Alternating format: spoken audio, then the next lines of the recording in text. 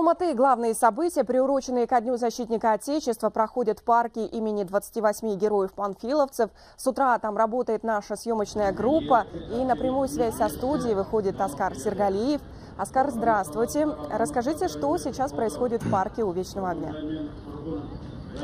Спасибо, Эльвира. Ну, разумеется, главные виновники торжества сегодня ветераны Великой Отечественной, воины-интернационалисты, военнослужащие, ну и, конечно же, призывники.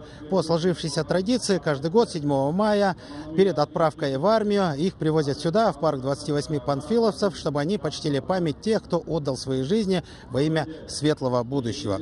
Ну а в данный момент э, здесь продолжается официальная часть праздника. Со сцены звучат поздравления Акима города Алматы Ахмеджана Исимова, ветеранов Великой Отечественной войны. Также в рамках официальной части призывники будут награждены ценными, ценными подарками в память об этом светлом празднике.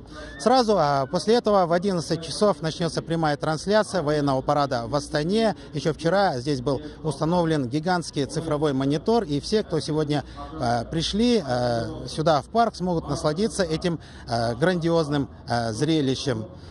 А еще хотелось бы отметить, что сегодня празднование Дня защитника Отечества началось в Алматы еще в 8 часов утра, причем не здесь, в парке 28 панфиловцев, а, а на центральной площади, откуда в 15 минут 9 стартовал массовый э, велопробег, в котором приняли участие э, тысячи алматинцев. Вообще, э, проведение веломарафонов э, в дни государственных праздников в Алматы стало доброй традицией. И с каждым годом число его участников заметно растет.